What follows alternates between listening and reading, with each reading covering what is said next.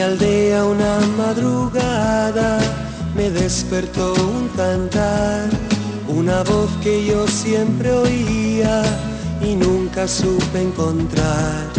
La seguí aquella mañana y pude así comprobar que a la vera del arroyo solía cantar.